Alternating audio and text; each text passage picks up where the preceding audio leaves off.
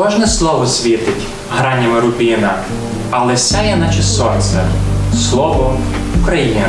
Поезію Дмитра Павличка на відео виконують учасники проєкту Карітасу Тернопіль Життя у повноті. Вони долучилися до акції Поезія без бар'єрів, яку в обласній бібліотеці організували до Всесвітнього дня поезії. Учасники декламували улюблену чи авторську поезію на відео чи в бібліотеці. Тернополянин Сергій Пенов прочитав свою власну поезію.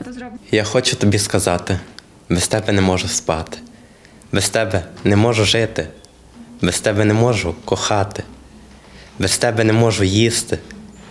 І все це немає змісту. Мені 26 років. Ну, в мене є фізична вада, переніс вже понад 15 операцій на головному мозку. Це починалося з дитинства і десь до 16 років. Так, з переривами операції робив. Сергій каже, приблизно відтоді й почав писати вірші. За 10 років створив 5 збірок поезії. Раніше я писав більш такі життєві вірші, більш про життя. Зараз трохи змінилося, пишу суто про кохання.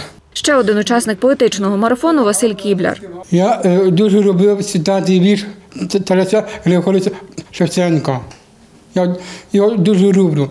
Вірш ем, «Заповіт». Також власний вірш під час відеомарафону зачитала Сніжана Верба. Дівчина каже, публікує їх у соцмережах під псевдонімом Юліана Дрозд. Ти взяв мене за руку, а завтра почалась війна.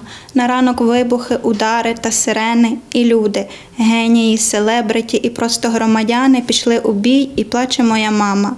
А ти тримаєш мою руку у своїй і кажеш: ти не бійся, я тебе врятую. Я пишу для себе. Це тільки моє. Коли я певний час не пишу, воно якось в мені, в мені сидить, і це треба на папір ви- викладати.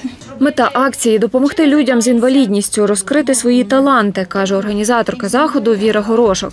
привернути увагу суспільства до проблеми людей з інвалідністю, а людям з інвалідністю, е, в свою чергу, дати можливість е, проявити себе, проявити свій талант, е, свою любов до поезії, відчути свою е, таку вагомість і все ж таки приналежність до суспільства.